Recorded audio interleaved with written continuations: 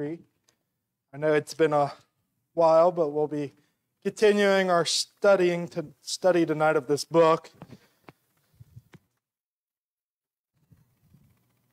First John chapter 3. We'll be going through verses 11 through 19, and we'll be talking about the Christian's way of love and specifically on two sides of the spectrum love versus hate. The text says, For this is the message that ye heard from the beginning, that we should love one another, not as Cain, who was of the wicked one, and slew his brother. And wherefore slew he him? Because his own works were evil, and his brother's righteous. Marvel not, my brethren, if the world hate you. We know that we have passed from death unto life, because we love the brethren. He that loveth not his brethren abideth in death. Whosoever hateth his brother is a murderer, and ye know that no murderer hath eternal life abiding in him. Hereby perceive we the love of God, because he laid down his life for us, and we and we ought to lay down our lives for the brethren.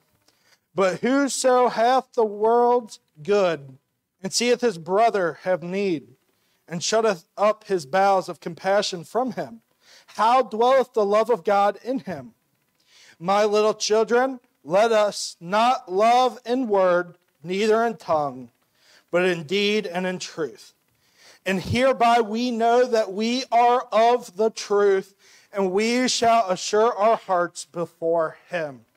Let's pray. Gracious Heavenly Father, Lord, thank you once again for allowing us to assemble, Lord to worship and praise your name. Lord, help your name be glorified above all things today. Lord, help us to truly worship you and take your great gift of love, Lord, and help us as Christians to give it out in the world, a world that will hate us and persecute us, Lord. Help us to live your way and not the world's way. Lord, help us to keep rejecting the world and keep abiding in you. Lord, be with all of our sister churches and all of our missionaries, Lord. Flow through them and let the let the Spirit work amongst your people tonight. We ask it all in Jesus' name. Amen. So we come back here to the book of First John today, and we're going to talk about one of the great vocal points of Christianity. We come to talk about a topic that is essential for every Christian. We talk about love. And again, we've talked about this before through this epistle, but love is the backbone of a Christian walk. And specifically today, we're going to be talking about the Christian's unbridled love. And we will look here in the text and see how Christians should be putting in a great labor in this action of love. We will look into the text and dive in and see more and more about it. And in doing so, we will again see this beautiful assurance God gives us in this love.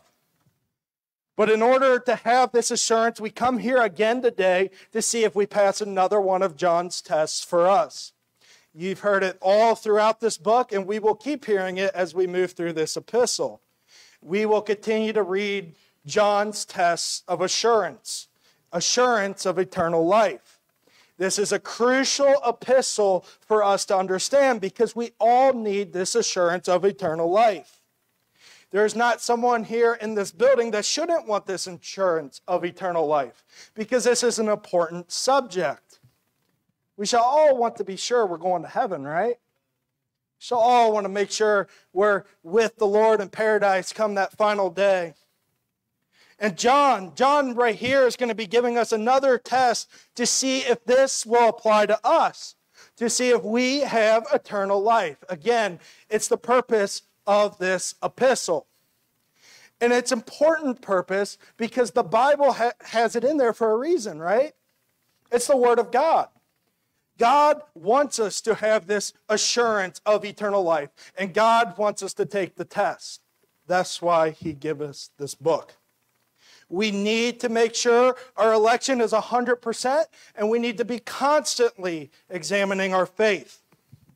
And the test presented to us today by John is one of great importance to the modern day man and woman. This is one that contrasts love and hate. And you are going to see inwardly which side of the spectrum you are on. Now, we see the word love thrown, lot, thrown around a lot today in modern society, but this term has often been diluted. The modern world claims every day about having love for someone. They say they love day in and day out. But the world's love is different from a Christian's love. The world's love is different from our love. And to pass John's test, you have to see which kind of love you have. The original love that John is going to be describing in this text. But on the contrasting side of this true love comes hate. A hate that comes from the devil himself a hate that is in of his children. As we read in verse 10, it says, In this the children of God are manifest, and the children of the devil. Whosoever doth not righteousness is not of God, neither he that loveth not his brother. The children of the devil do not love, but they hate. And their hate will end in jealousy and murder. As we see, we are giving the example of Cain. Today, as we take this test, we will analyze both sides of the spectrum, and in doing so, we will see which side we are on. And then we will look at the nature of hate specifically and look at the nature of love. So, going to verse 11, we are going to see how this is a staple of Christianity, how this is the foundation of it all, why it is such an important building block for us. And being a foundational piece, being a building block, this is going to be nothing new. There isn't going to be a revelation here today. It's not new doctrine, it's foundational. It says in verse 11, For this is the message that ye heard from the beginning. That's the foundation, that we should love one another. So, love is a core base of Christianity. Love isn't new to us. It shouldn't be unheard of to anybody here. And we have all probably heard about this understanding of love at some point. And we are going to get the assurance of our salvation tonight from a love that was given to us from the beginning. And this is a love that all Christians should practice. This is what Christ commanded his disciples to do in John 13 34 when he says, A new commandment I give unto you, that ye love one another as I have loved you that ye also love one another. Now, we talked about in a previous sermon on love that, that this is a new commandment, but it's built upon the new, old commandment as it was in the beginning. But we also know that love is such a strong foundational piece that it carries the two greatest commandments, as Jesus says in the Gospel of Matthew.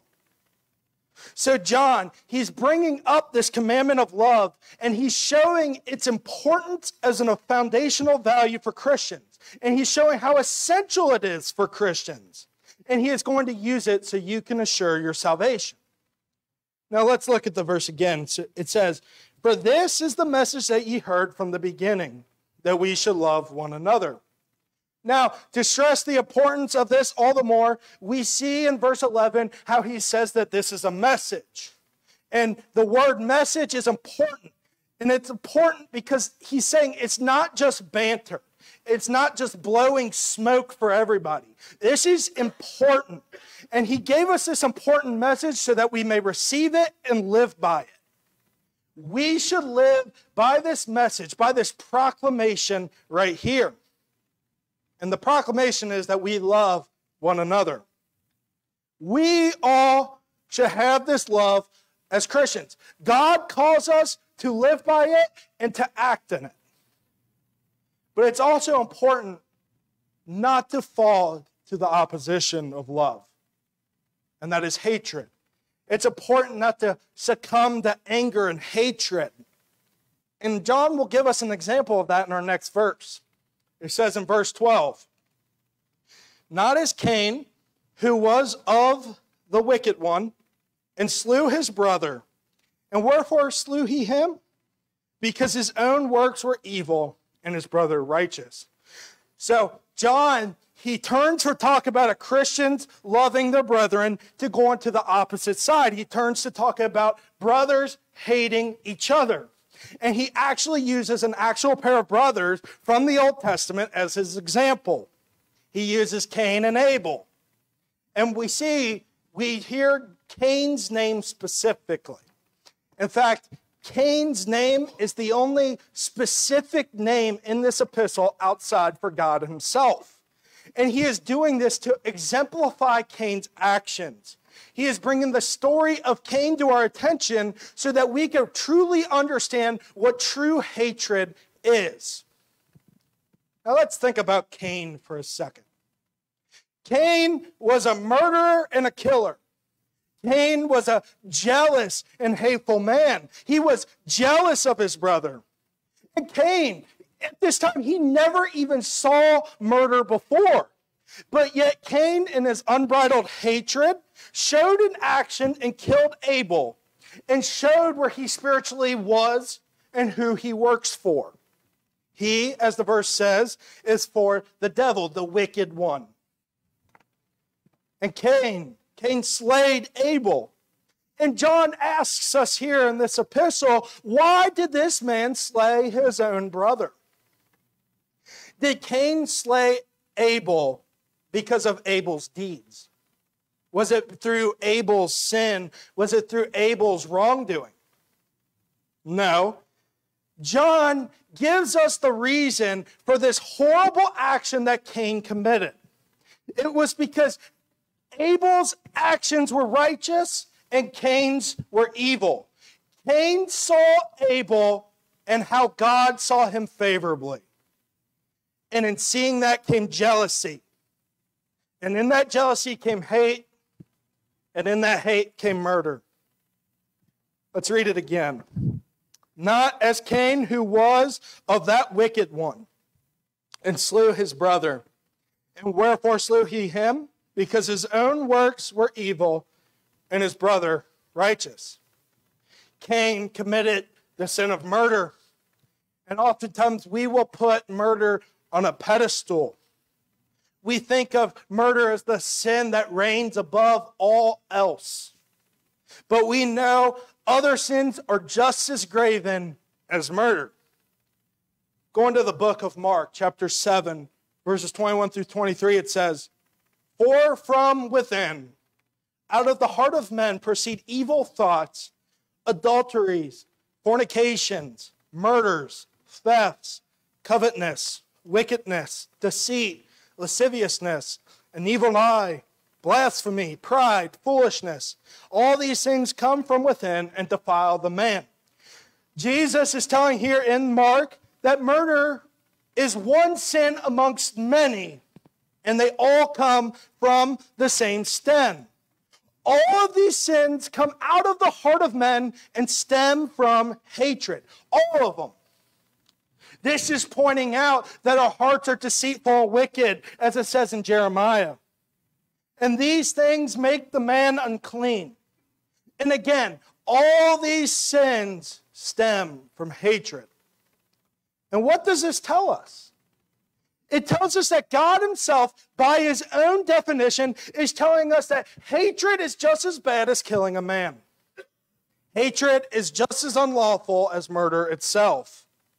And hatred is a stem of evil. And brethren, if you allow hatred to manifest, you will sin against God and you find yourself in a guilty spot. You are in guilty shoes. But not only that, we know hatred will throw us down a spiral. Brother, hatred will manifest and it will cause you to do one of these many different things listed in Mark 7. As Christians, we should look at these things and see them and purge hatred and go to God for repentance because we understand how drastic it truly is. And if you're lost in the building tonight, you should go to God with a repentant heart and know that Jesus is the only way of forgiveness for that sin. Scripture says, Now as Cain, who was of that wicked one and slew his brother, and wherefore slew he him? Because his own works were evil and his brother's righteous. Marvel not, my brethren, if the world hate you.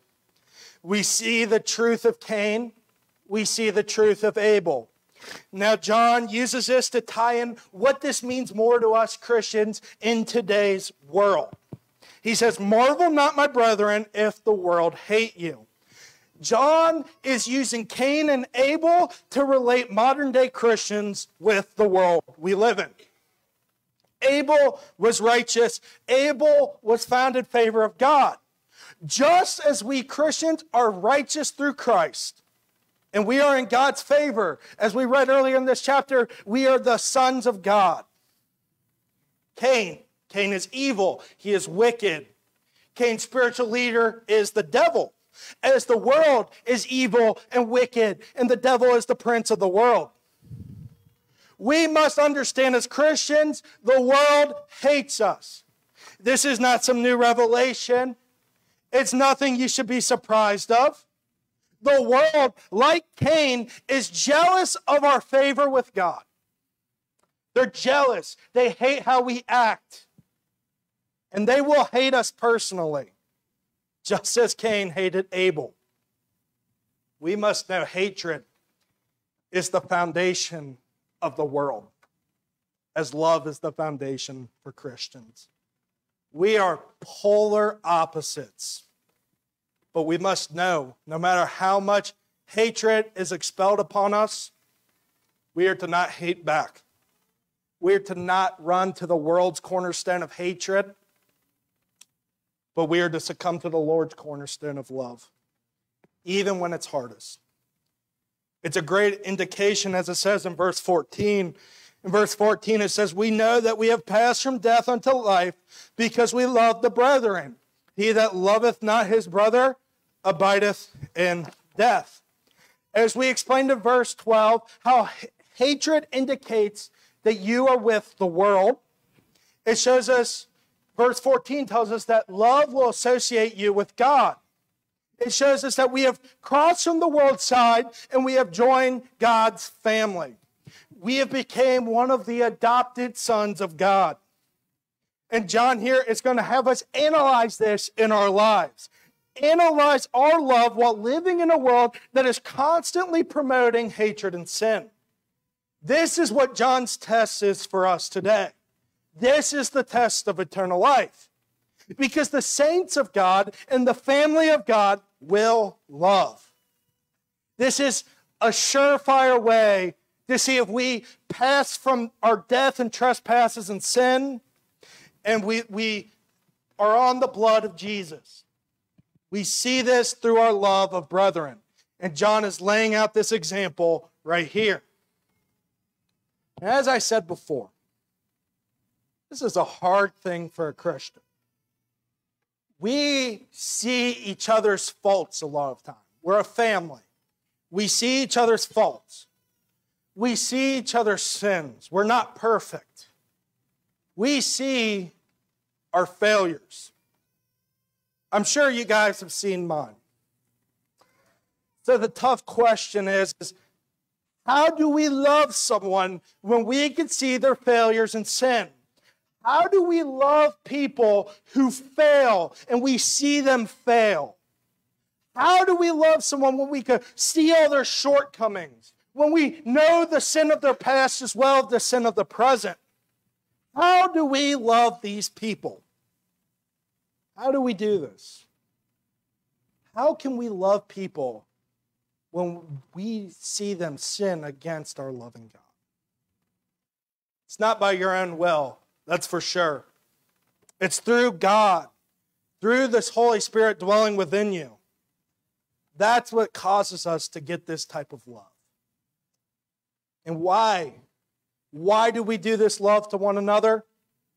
John just keeps emphasizing it so much. Why do we love like this? Well, first, it's because of what Christ did for us, but it's also because we need a constant reminder of the washing and the love Christ did for us. John teaches and emphasizes this love so much because this is the good meat. This is meat that we are all to eat. It's the prescription God prescribed the Christian to take. This is the love that separates the local New Testament church and makes it what it is. It's what makes Winton Place Baptist Church so special.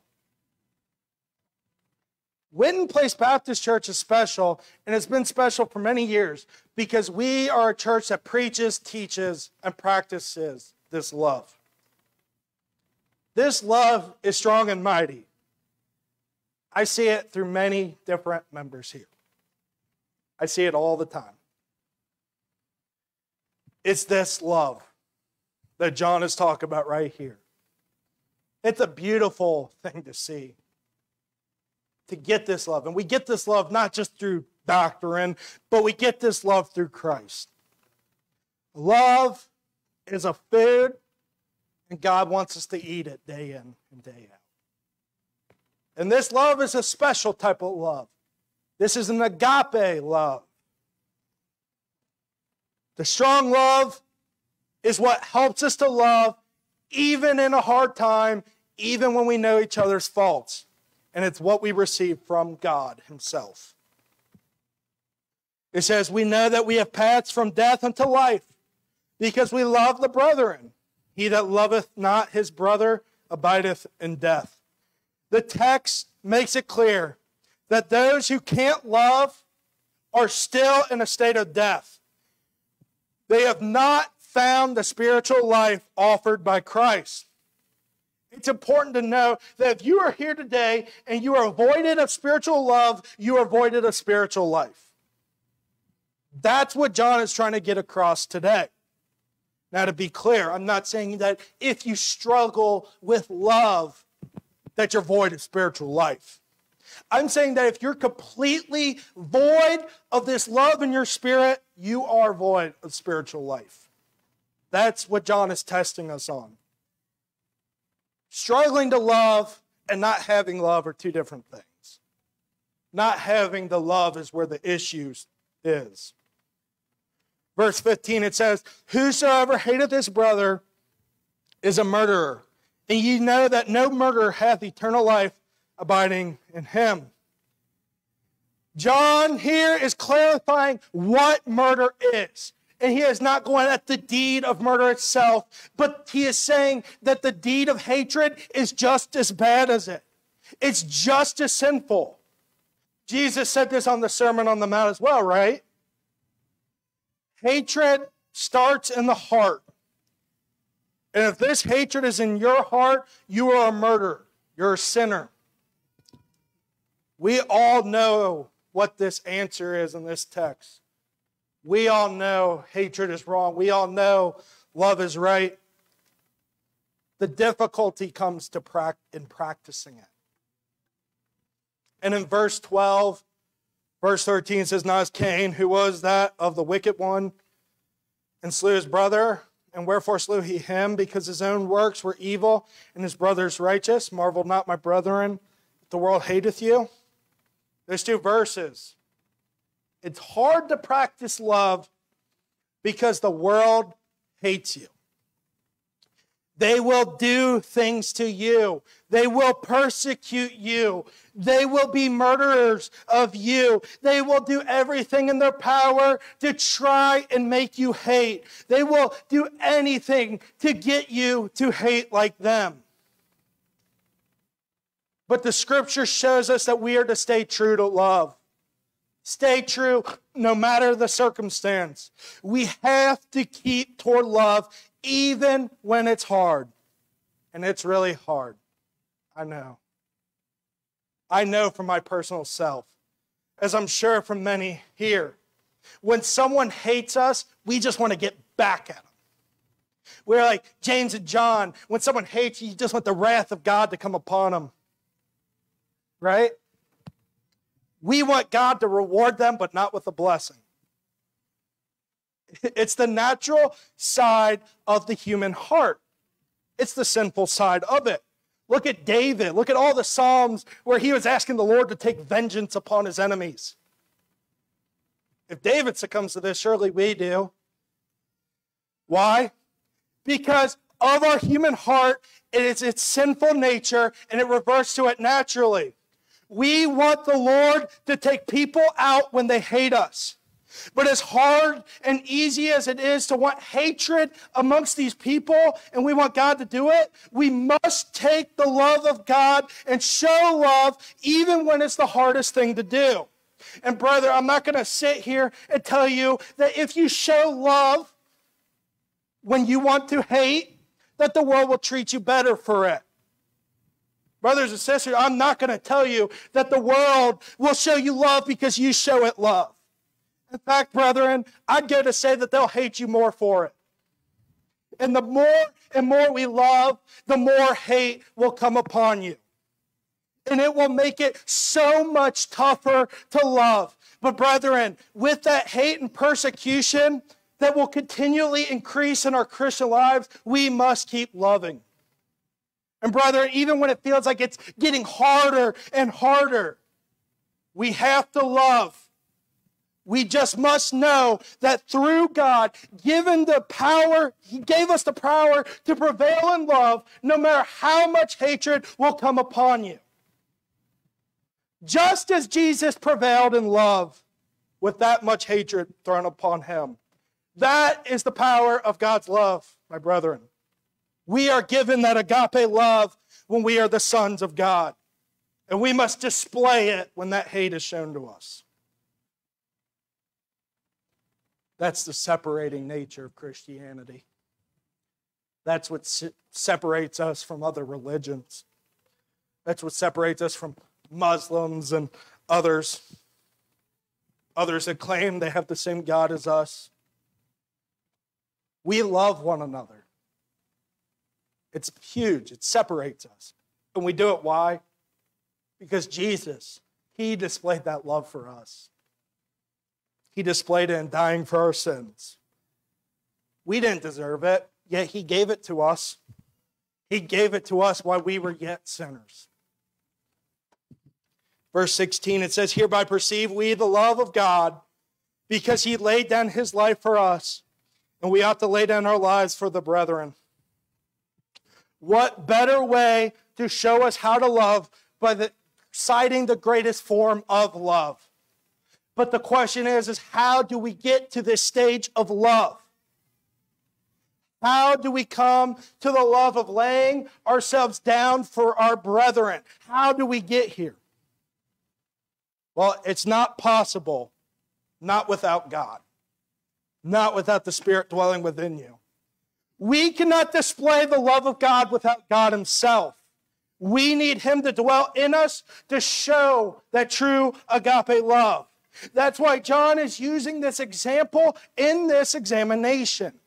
This is a great way of telling if you are saved.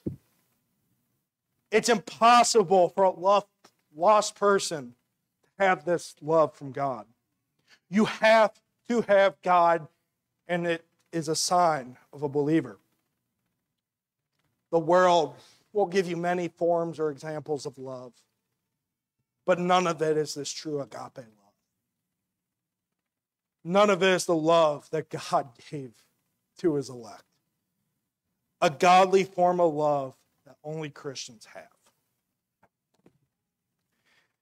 It says in verse 17, But whosoever hath this world's good and seeth his brother have need, and shutteth up his bowels of compassion from him, how dwelleth the love of God in him? My little children, let us not love in word, neither in tongue, but in deed and in truth. We must be more than a bag of words. We must be more than talk. What good are words if we don't act upon them? We are called that if we see someone in need, someone who needs compassion in their life, we are to provide with love. It's been taught.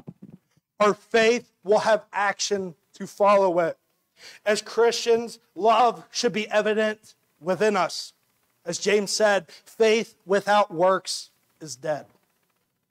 This is what we are called to do by God Himself. Then, verse 19, and hereby we know that we are of the truth and shall assure our hearts before Him. John is telling us that we should all know this. This is the assurance I keep talking about of our eternal life. This is the focus of the epistle. that we could take this test from John and look at our love and know if we are of God and, the, and his adopted children and we have this beautiful eternal life. This is confidence given to us by God. This is the blessed assurance we sing about. This is knowing that Jesus is our personal Savior. Concluding, do we have this blessed assurance? Do we have it? Are you we sure of our salvation? Do we have this agape love, this love given from heaven above? But the other question is are we practicing that love? Because it's hard in a world of hate. And, brethren, when experiencing this hatred, I encourage you to run to this text. It reminds us the commands from God and how we are to rise above. And, folks, if you see hatred in your life and you're void of this agape love, it doesn't have to be the end. Death does not have to be upon you. God, through agape love, offered a way, a way of forgiveness, to place your faith in Jesus with all your heart, to declare him the Lord of your life, and to turn from your hate. It's because God offered this agape love to you. And when you accept it, you will turn and give it to others. And, folks, we're not done with this topic. This epistle goes to it again. It will come up again. It will be preached again. So, until we get to this point, we need to keep focusing on this in our lives. As basic as it might seem, it is all the most important. Let's pray. Heavenly Father, Lord, thank you once again for coming here today, Lord, and Lord, we thank you for showing us that great agape love through your Son on the cross. And Lord, we are thankful, Lord, and help us to get taken that love, Lord, and expound it upon others. Lord, give us grace when we are hated upon. Lord, we know it's not easy and we know it's in our nature to just dislike and get back, but Lord, we have to rise above. And we know that we do it through you abiding in us. Lord, keep abiding in us, Lord, and bless us as we go into the week. Lord, help us to be great examples for you. Help us to give your word. Help us to be faithful stewards of it as these times come. And Lord, be at the Winton Place Baptist Church. Lord, be with us as we grow. Be with us as we labor for you. Lord, bless us upon all things. We ask it all in Jesus' name. Amen.